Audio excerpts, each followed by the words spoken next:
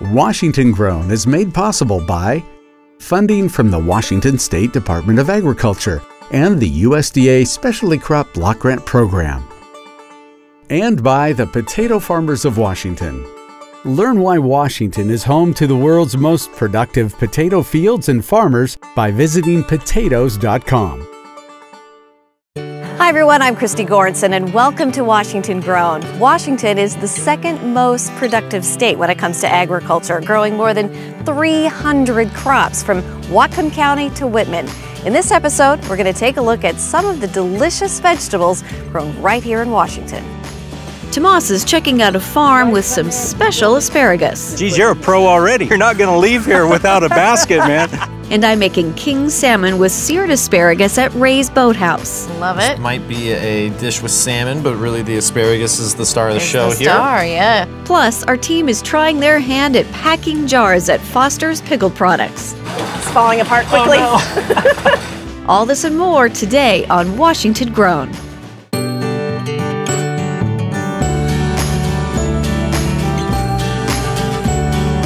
This is my favorite part of the day.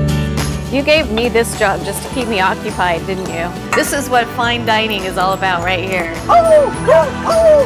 I could eat these all day. You all make this look so simple and easy. Cheers to that. I only hang out in pretty potato fields.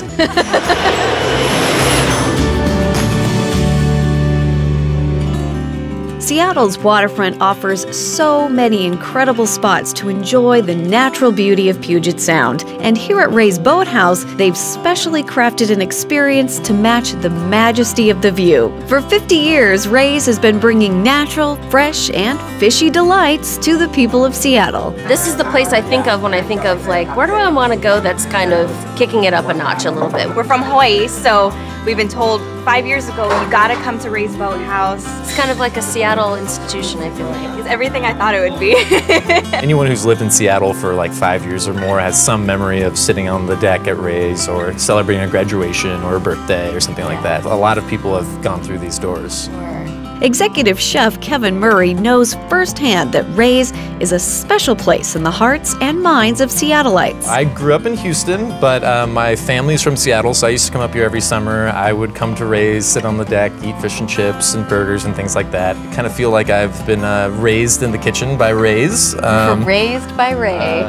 Who wouldn't look at this view and be like, wow, I'm so happy right now? Like, it's, you know, we love it here. Obviously, we have an amazing view, but we also have kind of been one of the front runners for Pacific Northwest cuisine, specifically seafood, for the past 50 years. We kind of stayed real true to our roots and who we are as a business, so we kind of like live on the tradition of, of where we are. If it ain't broke, don't fix it. Exactly. Stay tuned for later in the show when Chef Kevin and I make crispy skinned king salmon with seared asparagus. Hollandaise sauce is not for people on a diet.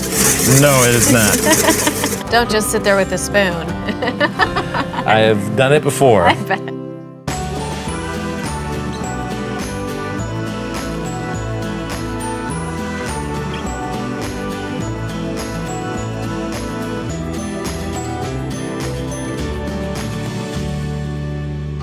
Driving by this field, you might think that these are just stalks of crops that haven't grown in yet. But in reality, these are fully grown, ready to eat asparagus. Larson Farms in Pasco has been growing asparagus for decades. Call this God's country because, well, when we moved out here, there was only us and God at the time. Gary Larson and his family have been farming asparagus in Washington for generations. Now, although these green veggies are colorful, if you take a closer look, you'll find a completely natural rare color growing right in his fields. We're here today because I heard you do something a little special with this asparagus. I wore my purple shirt because I understand you grow purple asparagus. we could sell it, but with purple asparagus, you either got too much or not enough. So Instead, Gary decided to donate the proceeds to the Alzheimer's Association. And the official color of the Alzheimer's awareness movement, you guessed it, purple. both my parents passed from Alzheimer's. My sister and myself would take my mom's bed out of her assisted living care place, and as I was leaving, I got, oh man, purple, purple asparagus. And I thought, what a great way to raise money. It was a way of moving this asparagus for a good cause. First year of COVID, we thought, oh man, and we did over $35,000. We got one acre of purple, and we're able to raise that much money off the one acre. All right, let's head to the field and check out these purple asparagus. All right, so check out these guys. These purple ones are actually pretty thick. Oh yeah, That is beautiful. it's sweeter than the green stuff. Some people love it. Some people prefer the green. So why don't you just give me a couple coaching tips on how to harvest a couple of these if they're ready? Okay, so you go to the old guy with the bad back and knee to say, okay, teach me how to cut. You have to be careful because, like in this case, if I come down right through here, I'm getting that one. Right. So you have to maneuver around and hope you get it. So I'd come in and get a little bit further down into the ground, right? You don't want to get too far, so that's about right. So right there. So I just give it a nice good Yep, push. there you go. And then when they get it, they're just Yep. lopping it off and then Geez, putting you're a pro already.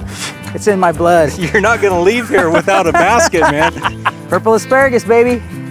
Why is this place so good for asparagus? Wow. God's country? That's it. It's just that touch of God, right there. Yeah. When we started asparagus, there were 32,000 acres of asparagus in the state of Washington. And now we are about 4,000. But the interesting thing is because of all the different varieties and the better varieties, we're probably producing as much or more asparagus off those 4,000 than what we did with the 32,000. When you consider how much my parents left for me, I wish that we would have started this sooner so maybe there was some hope for them. But if I can help one, two families not have to deal with the grief of dealing with an Alzheimer's situation, it's, it's well worth it. How do we get people to know more about what the power of purple asparagus can do then? You can go to the Alzheimer's Foundation and go on the website and you can read up about it and find the donations. They do like fun walks and that type of stuff to raise money for it. Thanks for doing what you do, and I'm gonna pick some more asparagus and go have myself you- some lunch. You only got three quarters of an acre left to go. So, dinner maybe, dinner.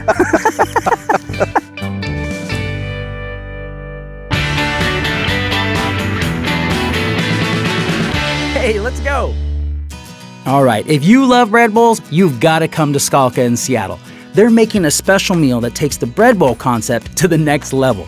Owner Maria Tarasova is from the country of Georgia, and she's putting some great twists on a classic Georgian dish to make Washingtonians happy and full. Georgian cuisine, uh, you know, has a lot of different dishes, but we decided to focus on only one dish and make it, you know, to perfection. So we make only one dish. It's called khachapuri. You know, if you have only one dish in a restaurant, usually people trust you. It means that you're a professional if you're doing only one thing and you make it good. Today, we're trying out the veggie khachapuri made with Walla Walla onions, eggplant, bell peppers, and jalapenos. How are you're supposed to eat it. So no knife. Okay. Just remember that. Okay. We don't have knives at Skalka. you use your hands. It's not fun food and you gotta fa- have fun. Mm. There's so much flavor. It's got some Yep. spice in there. I got a perfect Yeah. crunchy Fluffy. crust, but inside it's all warm and fluffy. Yes. Let's see what Seattle thinks of Skalka's veggie khachapuri. Ooh, look at that. Oh, that's a big That's my kind of bite, Pat. It's so good. go. First of all, the bread is to die for. It's tremendously flavorful. It's the veggie, so it's got a lot of like earthy flavors Yeah. in it. This is Awesome, healthy, it? but it's very tasty. It is, huh? The bread is just cooked perfectly. Like it's such a good device to get the get the filling into your mouth. definitely enhances the travel experience coming to Seattle for the first time. So where are you from? Atlanta. So instead of uh, the Georgia state, you get You're the right. Georgian country. Exactly. cuisine. There you go. It tastes healthy, but also filling and So how do you say this is delicious in Russian? Вкусно. Вкусно. Вкусно. Вкусно. Yeah. Вкусно. Yeah, Russian is so good. Coming up, I'm making king salmon with seared asparagus at Ray's Boathouse. Hollandaise sauce is not for people on a diet. No, it is not. Don't just sit there with a spoon. I have done it before. I bet.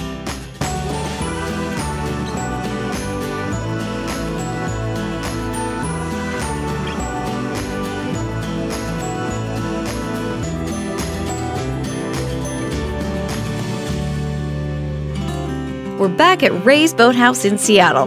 Seated right on the waters of the Sound, Ray's has crafted a menu that perfectly fits both the Seattle waterfront and the fresh Washington produce. I kind of feel like there's something for everyone. The recommendations on what's good and what's excellent, has been fantastic, and I think we ordered most of it. The food is always really fresh and well prepared. We told Justine we may have to come back tomorrow night to try the rest of the menu. We like to take something that's really a really high quality product and then not try to complicate it too much. Executive Chef Kevin Murray takes a lot of pride in the menu, allowing the natural flavors of fresh ingredients to sing out in the dishes he creates. We also really like to use the variety of Washington produce. We have amazing apples and pomaceous fruit here. Stone fruits are wonderful. We get a lot of great asparagus, which is obvious. What we like to do here is we like to take those things and present them simply and just showcase what, what we have here. It's not snooty at all, very approachable, and the, I mean, you really can't beat the view.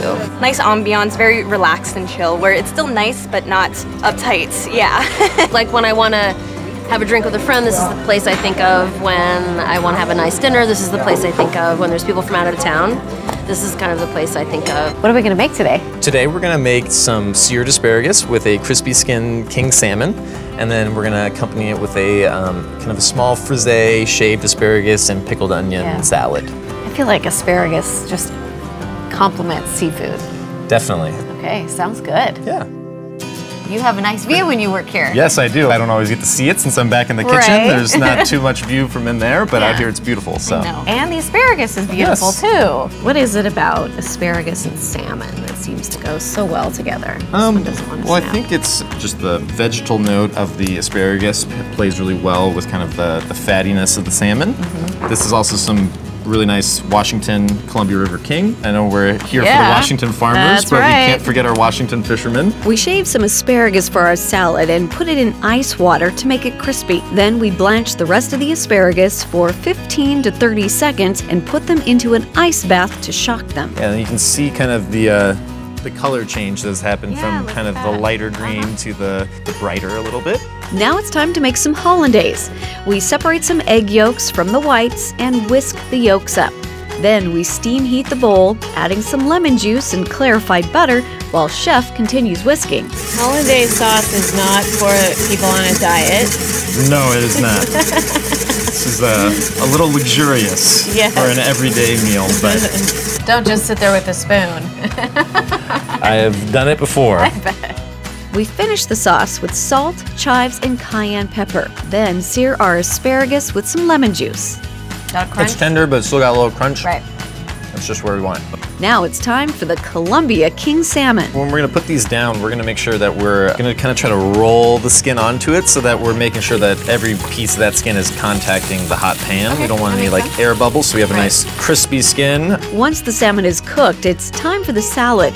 We start with some blonde frisee, then add our chilled asparagus ribbons, pickled red onions, and lemon oil. Look at how beautiful that is. Love This it. might be a dish with salmon, but really the asparagus is the star of the show here. Star, yeah.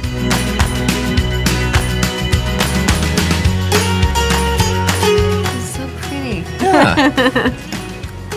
It's nice. You get the So good. richness from the hollandaise, Mhm. the brightness of the lemon kind of comes through. I love just the crispness of the asparagus. Mhm. You always want to like yes strive to have some balance with your with your meal. Mhm. So when you're going something that's like rich and luxurious, it's nice to complement it with something bright and acidic to kind of cleanse your palate. It's an adventure. That whole meal is awesome. And the asparagus, perfect. To get the recipe for Ray's crispy skin king salmon with seared asparagus, visit wagrown.com. Farm labor is a hot topic in Washington, and it's something we need to discuss in order to really understand the full situation. That's why today I'm meeting with Brandon Rusin, the executive director of the Western Washington Agriculture Association, to talk about the struggles both growers and farm laborers are facing. Even though some of the tasks that farm workers have done over the decades is changing, their place on the farm, their place in the operations is still critical. If you don't think that our farmers value the workers who are operating hundred and hundred thousand dollar equipment right. and millions of dollars worth of, of product cumulatively, and they don't trust these folks, you gotta be kidding me. There's a skill and there's a dedication to agriculture that I think is mutually seen and felt amongst the folks who participate culturally in agriculture. I mean, that's the culture, agriculture. I've visited a lot of farms before where I've seen farm workers who have come back year after year after year, and they're almost part of the family because they've been there for 10, 15 years, and now they bring in their kids and they create these relationships right. with their workers. So it really isn't just a, a number. You're just a number on my field. Generational farms aren't just generational for the owners. I think you nailed a, a point that I think folks in the in the non-agricultural public maybe don't fully understand and appreciate. It's always been hard work. Since day one that we started putting things in the ground with the intention to harvest them, it, it wasn't going to be easy. And how now do we place the value on that hard work? How do we keep the generational understanding and perspective alive in communities? I think our farm workers want to be there. They wouldn't be there if they didn't. And our farmers absolutely want them there. So now it's just making sure that communication is alive and well, and that, that can be a challenge. I'm glad somebody like you is there to lead the charge. Well, thank you so much. I appreciate it, and thank you for having the conversation. Awesome, man. It needs to be had. Coming up, our team is trying their hand at packing jars at Foster's Pickled Products. This is the difference between a professional and a producer. And we're in the kitchen at Second Harvest trying out some French spring soup.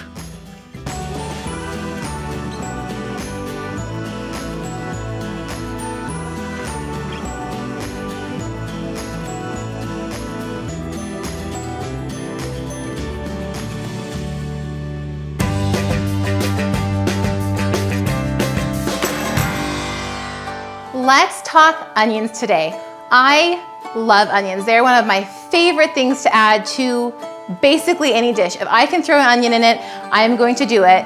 And did you know the average American eats over 18 pounds of onions a year? That's pretty big deal. So we want to talk about how to preserve and store them so you can use them whenever you need. Onions can just store in a cool, dry place. You can put them in a paper bag. Just make sure you're not stacking them on top of each other because the weight on top of each other can cause them to have soft spots and then mold, so we want to avoid that. That is one of the best ways to store them. They don't need to be in the fridge unless you've chopped them open, you've used part of it, and you're trying to store part of it in the fridge. Then you can easily do that. Another great way is freezing. So freezing is the best to chop it up in little pieces and then throw it in sautés, soups, stews, all the things. Obviously, chopping can be an issue for a lot of people because onions can make you cry. One of my favorite tools is this right here because it chops it for you and then it goes right into this and you don't really have a lot of one-on-one -on -one contact with it. So we're just gonna chop it real quick. We're gonna set that in there just like this.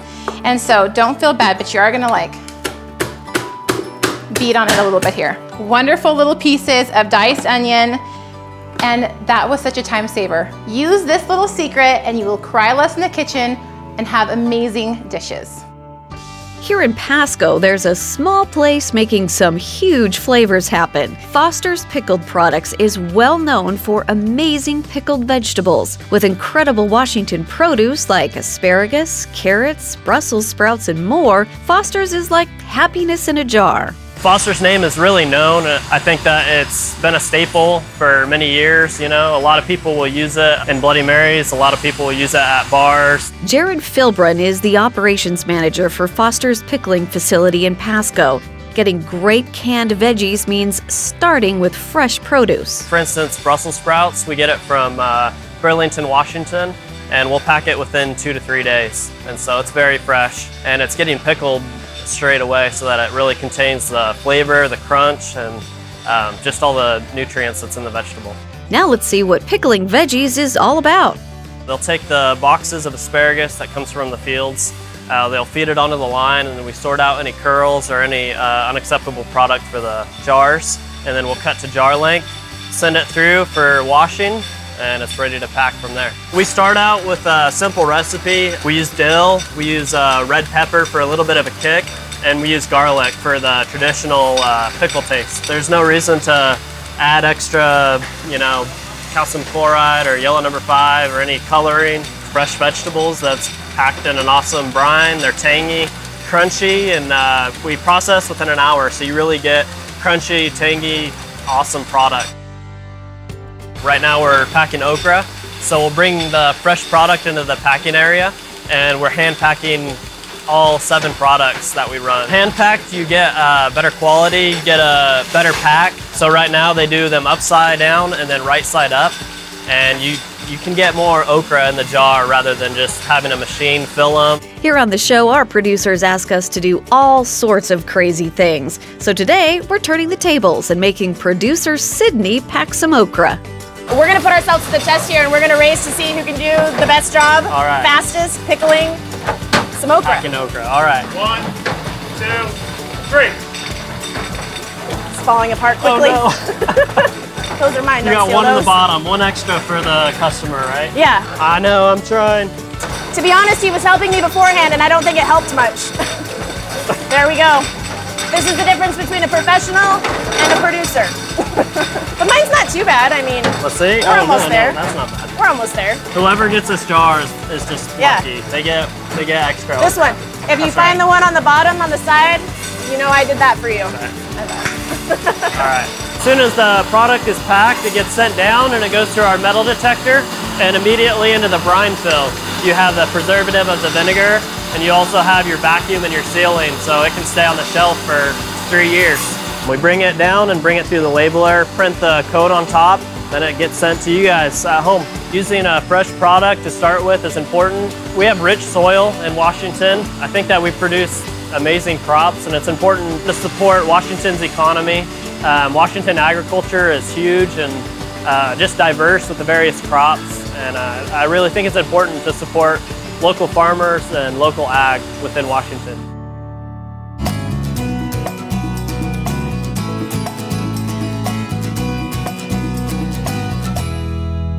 Welcome back. We are in the kitchen at Second Harvest Food Bank in Spokane, and I'm joined by my sidekick, Tomas. How Thanks for being here. Oh, it's always good to be back. As well as Laurent Zarati. Bonjour. Hello. Bonjour, Christy. Yes, uh, Bonjour, Laurent. Thomas. Bonjour. And we get to taste some French spring soup. And this was right, French Okay. spring soup. French spring You're soup. French. What, what makes it Yes. French? Uh, you know, I, I- I don't get too much the, the, the French fries, the French uh, toast, but I think this soup, I think it's the base of a potato leek soup, which is called a parmentier in French, and it is a classic French soup. So I think that's that could be uh, that connotation. Gotcha. All right. So this was the asparagus episode, and you got to go to a purple asparagus field. Yeah, you know, we have so many crops here in Washington, and we always stumble across something unique. And this purple asparagus was definitely one of those. There isn't many acres of this out there, but it was just awesome. It was vibrant. And it's purple, but when you cook it, Turns It turns green? Green, yes, Really? yes, yes, it does. How about that? on- only, only, only the white asparagus stay stay white. Yes. Okay. So this is French spring soup uh, made by Luann. So we're going to taste it. Right. Cannot wait.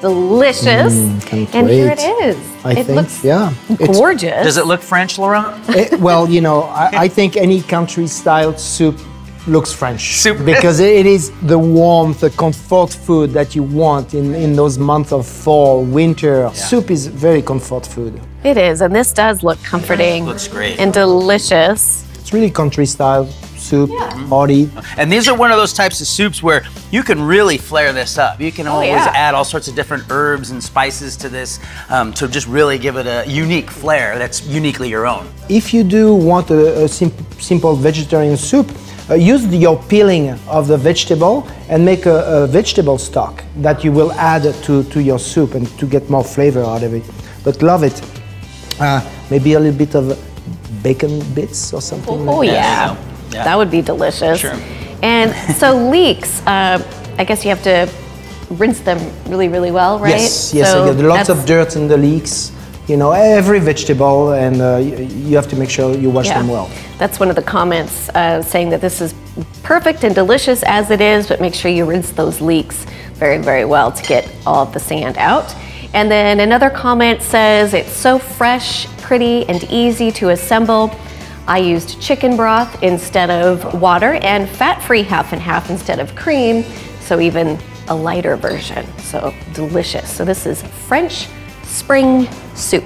There you go. Love it. Very nice. We, we can say bon appetit. Bon appetit. I love it.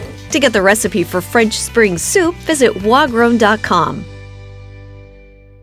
Whether you're grilling asparagus on the barbecue or enjoying some pickled Brussels sprouts as a snack, we're so lucky to know that our veggies are grown by our neighbors, the dedicated farmers of Washington. That's it for this episode of Washington Grown. We'll see you next time.